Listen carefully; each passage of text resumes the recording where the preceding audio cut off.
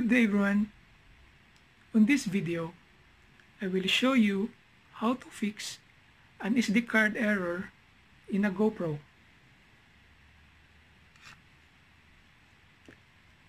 There are several reasons why an SD card error occur.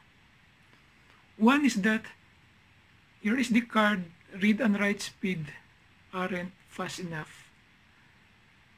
GoPros need a class 10 micro SD card which is one of the fastest option.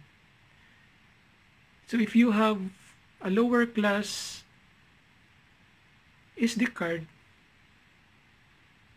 error would occur. So it is best to choose a class 10 SD card. Another reason is that the GoPro could not recognize the format of your SD card. This happens to me because I formatted my SD card in a desktop computer and then the format there is not quite compatible with the one that GoPro needs.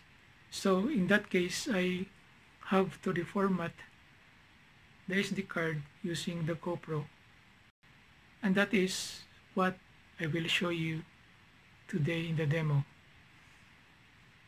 Another possible cause is that there might be dust interfering with the connections.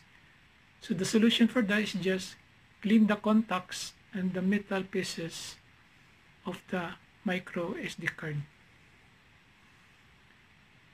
So that would be an easy task. Just get a paintbrush or a toothbrush, uh, a soft one, and then you just brush it into the terminals on the metal parts. And the next step that I'm going to show now is that how to format the SD card so that it would be readable by GoPro and it will not cause an SD card error.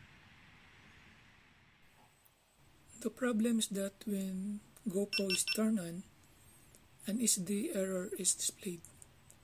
To fix that, navigate until you will see the wrench icon and then select it and then navigate again and find the trash can icon.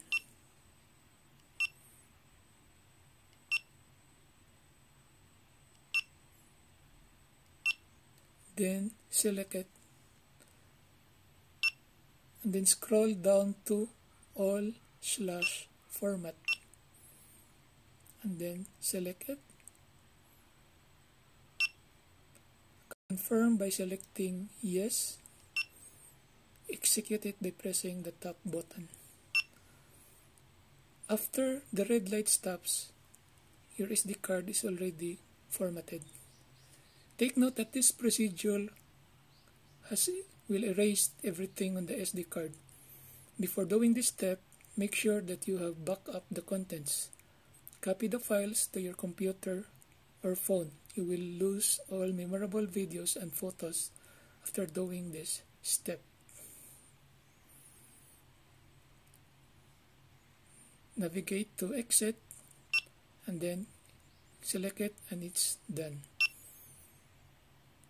SD error is now gone in the display.